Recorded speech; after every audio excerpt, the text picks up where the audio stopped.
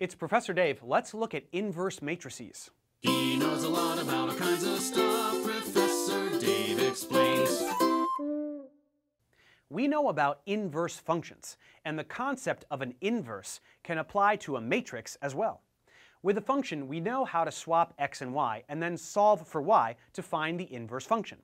So how does this work for matrices? Certainly, it's a different algorithm, so let's learn about this now. Although a matrix is different from a function, when denoting the inverse of a matrix, we will use similar notation as we did for functions, where the inverse of matrix A will be A with a negative 1 in superscript, just like a function f and its inverse. We must realize that this is not an exponent. A inverse does not mean the reciprocal of A, or 1 over A, because there is no such thing as matrix division. But an inverse matrix is similar to the reciprocal of a number in another way. We can recall that a number times its reciprocal equals 1. Similarly, a matrix times its inverse, or the inverse times the original matrix, will yield an identity matrix, a square matrix with all zeros except ones across its main diagonal, which is kind of like the number 1 in matrix form. So in that sense, there is a correlation.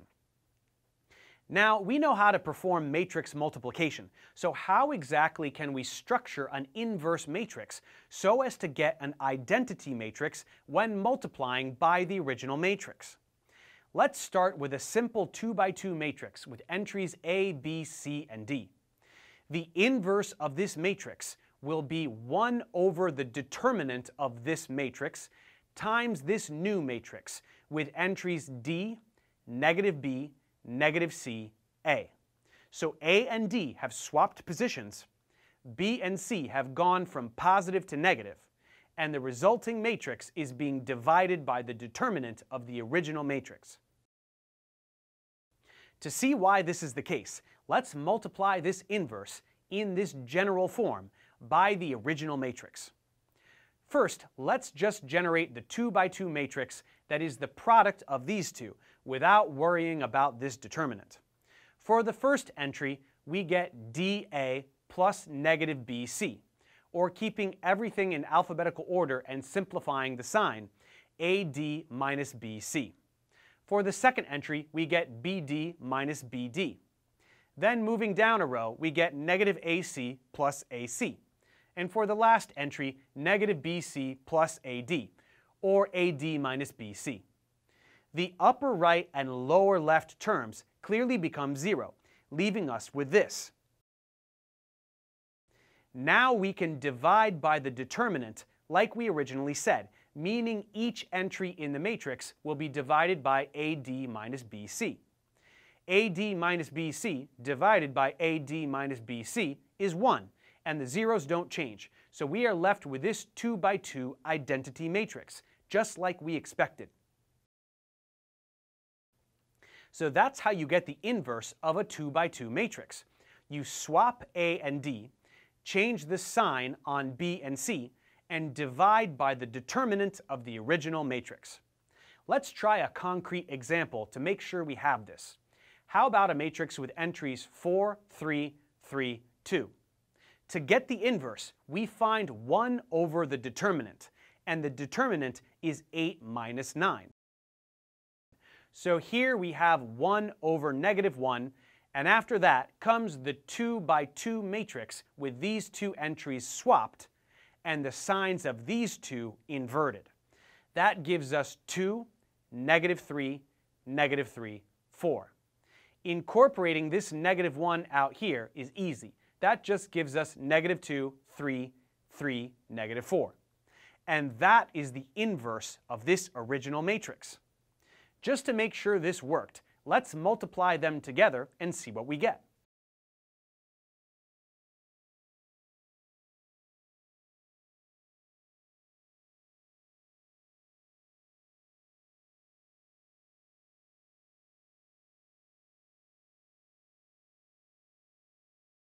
We do get the identity matrix, so we know our answer was correct. So what do we need inverse matrices for? Well, as we said earlier, there is no such thing as matrix division, so we can use this technique to solve equations with matrices where division would be necessary from an algebraic standpoint. If we have matrices x, a, and b, where x times a equals b, and we want to solve for x, we can't divide both sides by matrix A. Instead, we can multiply both sides by A inverse. On the left side of the equation, A times A inverse will give us the identity matrix, which we can essentially treat like the number 1 and just get rid of it. And on the right side of the equation, we have a product of two matrices that we can compute, which will be equal to x. Of course, this assumes that the dimensions of these matrices are such that the product can be calculated. Otherwise, this will not work. Don't forget that matrix multiplication is not commutative. So wherever we place A inverse on one side, we have to place it the same way on the other side. So in this case, as the rightmost entry on each side. If the original equation was A times X equals B, we would have to place A inverse all the way on the left, because A inverse times A should also equal the identity matrix, in which case the right side must be A inverse times B, and not B times A inverse. In addition, when taking the inverse of a product of matrices, like the quantity B times A inverse, we get A inverse times B inverse in that order. We should also note that not every matrix will have an inverse matrix. If a matrix has a determinant that is equal to 0, its inverse will involve dividing by 0, which is undefined, and that matrix will therefore not have an inverse. Such a matrix is called a singular matrix. Lastly, you may be wondering how we can find the inverse of any matrix other than a 2 by 2 matrix. Let's look at a 3 by 3 matrix and see how this would work. To find the inverse of this, we will first find something called the matrix of minors. This will be a new 3 by 3 matrix, and each entry will be a particular determinant. For the first entry, we locate the corresponding entry in the original matrix, and we block out its row and column. There is a 2 by 2 array of numbers left, and we find its determinant that determinant will become this first entry in the matrix of minors. Then for the second entry, again we go to the corresponding entry in the original matrix, block out its row and column, and find the determinant of what is left. We continue doing this for every single entry until we have completed our matrix of minors. Unfortunately, that was just step one. Now for step two, we use our matrix of minors to generate a matrix of cofactors.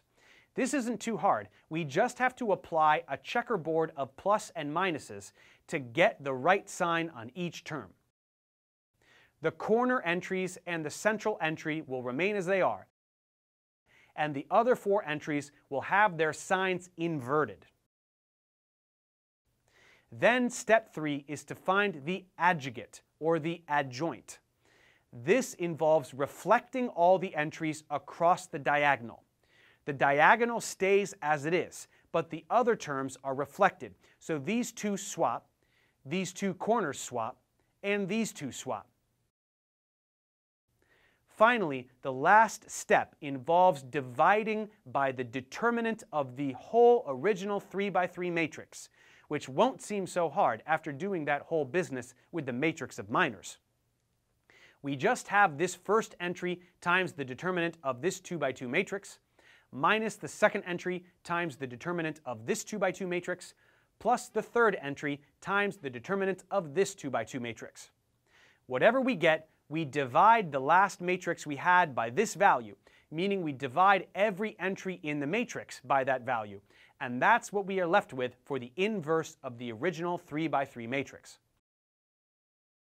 So to summarize the four steps we just took, first we found the matrix of minors going one entry at a time. Then we applied the checkerboard pattern of signs to find the matrix of cofactors. Then we transposed all entries across the diagonal to get the adjugate. And lastly, we divided by the determinant of the original matrix to get the inverse matrix. This is essentially the same algorithm as we used for a 2 by 2 matrix, just many more steps to achieve the same result. So as we can see, even with just a 3 by 3 matrix, finding the inverse becomes rather laborious. If we were to extend this to a 4 by 4 matrix, it wouldn't really be any harder.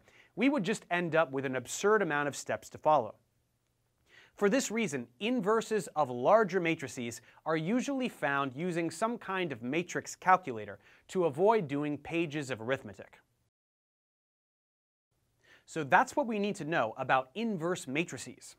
Now that we have covered the basics about matrices, their operations, determinants, and inverses, we have many of the important algorithms out of the way, and we are ready to examine some of the more abstract ideas in linear algebra. But before we move forward, let's check comprehension.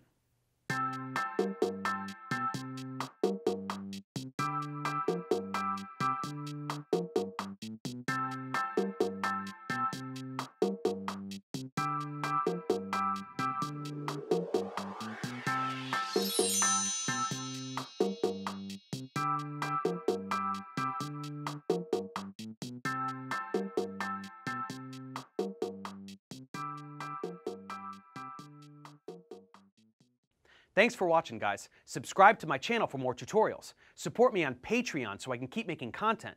And as always, feel free to email me, ProfessorDaveExplains at gmail.com.